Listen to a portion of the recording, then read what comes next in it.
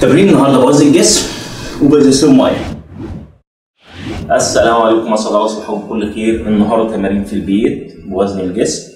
ده هيبقى المستوى مبتدئ مستوى متقدم مستوى متوسط إن شاء الله.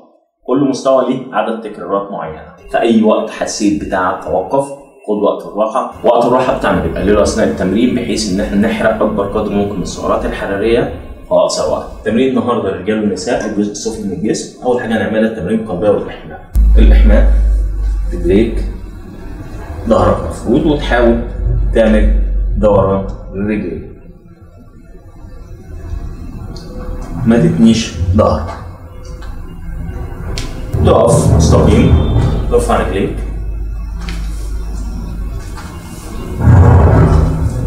تنظر امامك حافظ على تنفسك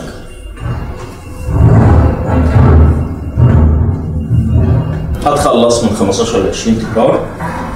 وهتاخد راحة 10 ثواني تخش على التمرين الأول. التمرين الأول squat بوزن الجسم تمرين النهارده بوزن الجسم عاوز أنت تستخدم ال dumbbells أو أي وزن عندك؟ مفيش مشكلة. ظهرك مستقيم. هتنزل. إيدك اهي وأنت نازل ترمي الفخدين للخلف كده. تثبت ثانية تحت. وتطلع. وانت طالع بشكل بطيء. هنا الوسط تتحرك للأمام وتنزل تاني.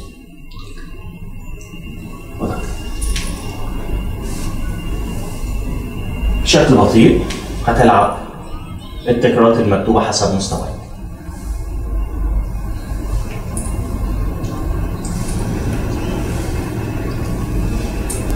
بدون راحة بتعمل mix بين تمارين لا هوائية زي اللي إحنا عملناها وتمارين هوائية. التمارين الهوائية اللي هي تمارين القلب أو تمارين القلب. اختار لك حاجة مناسبة ليك. أنا مثلا اختار ال jump. كده 30 ثانية واحد. اثنين. ده أسلوب من أساليب استهداف السعرات الحراريه أو حرق السعرات الحراريه إنك تقلل وقت الراحة أو تعمل ميكس بين التمارين الهوائية واللا هوائيه. بنريح من 20 ثانية ل 30 ثانية بعد ما بنعمل التمرين الأول والثاني باسلوب السعرات الثابته. وبعد كده بنخش على المجموعة الثانية بترفعه كده. وبتنزل. نفس الفكرة. وانت فوق وتعصر. عضلة الفخذين والمقام وتنزل بشكل بطيء. خد نفس. طلعه وانت فوق وبتضم على العضلات خلاص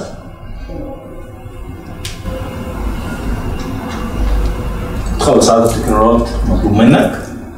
طبعا الفيديو كله مستوى يعمل كام تكرار؟ لو عاوز يزيد مفيش مشكلة. وبدون راحة تخش على التمرين التاني اللي هم 30 ثانية. الجامب مش قادر؟ راجع.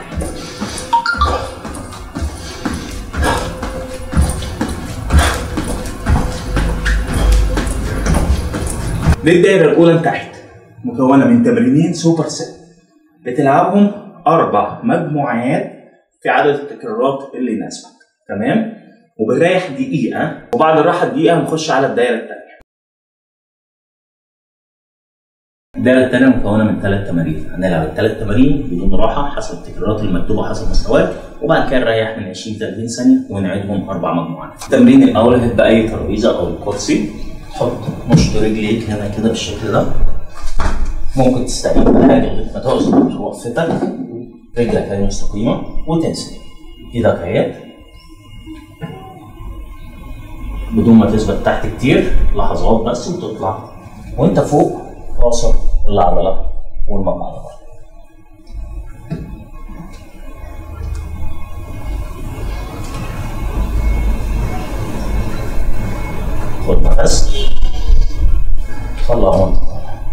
بتخلص وقت التكرارات المكتوبة وبتعمل رجلين حسب مستواك بتحدد التكرار بتاعك.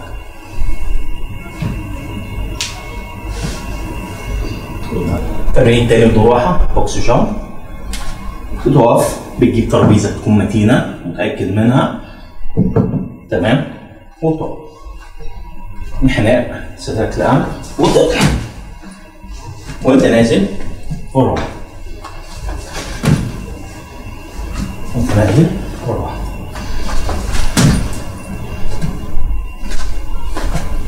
حاسب. عشان ما تتلخبطش وتنط على الهواء وانت نازل بالراحه دي طريقة سهلة وسيفتي اهو في ناس بتحب تسرع الموضوع. كده. كده. كده. كده. في ناس بتحب شكل ثالث من التمرين. ان هو طالعه وتنزل squat. وتنزل squat. وتقف. وتنزل. تطلع لاحظ إن انحناء أهو. وتنزل. وهي لازم ما تنزلش على نص رجلك على رجلك التانية. آه طبعا بتفرق من واحد للتاني ومن كل واحد والتاني حسب وزنك. حسب إن ده أول مرة تعمل. التمرين ده أو لا التمرين التالت وهو تمرين الطعن بوزن الجسم أهو. وبتنزل. وبترجع. ده كده بيتحسب واحد تكرار.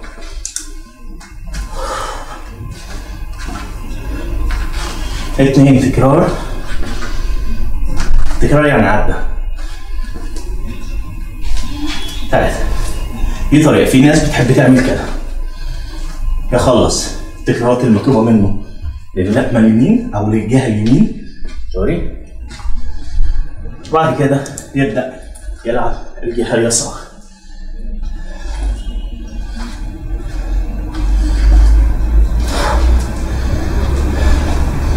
لاحظ في كل الأحوال هتلعب أي طريقة من الطرق دي؟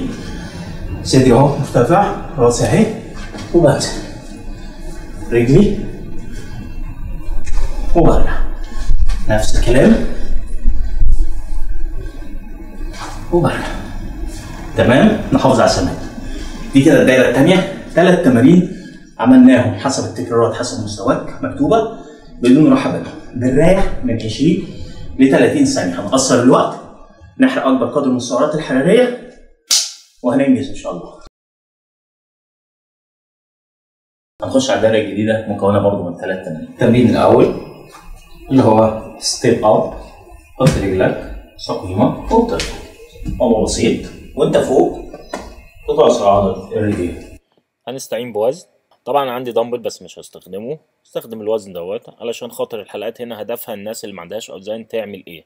بتطلع برجل يمين لحد ما بتعمل الأعداد المطلوبة منك أو اللي أنت اخترتها وبعد كده بتنقل على الرجل اليسار. التمرين الثاني هو ال deadlift ممكن تستعين. بوزن زي ده ورجليك صدرك الاعلى وانت نازل بتدي ركبك فوق صدرك الاعلى وبتحمل على الفخذين. وبتطلع وانت طالع فوق نفس فكرة ال squat الحوض بتحركه للأمام. راسك اهي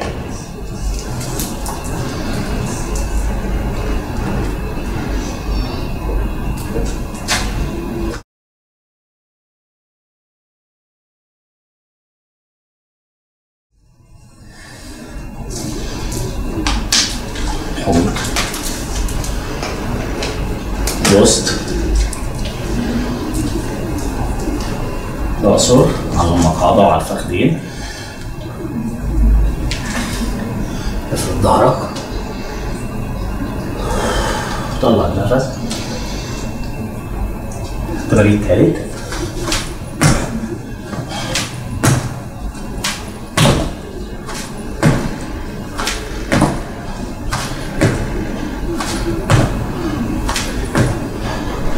أو مش هتعرف تعمل جامب وزنك تقيل الجري في المكان.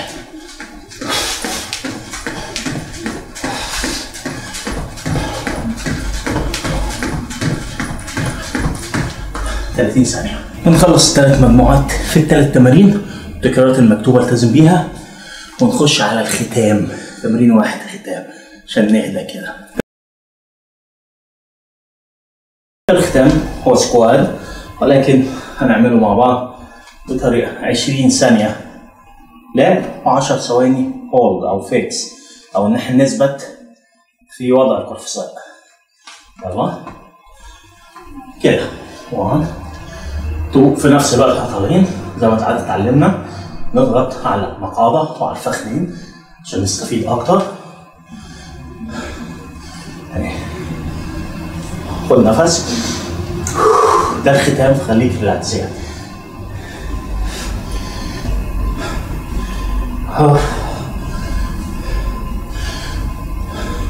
تخلص ال 20 ثانية ولا 20 تكرار وتثبت. 1 2 3 4 5 7 8 8 وتطلع تكمل 1 2 3 4 5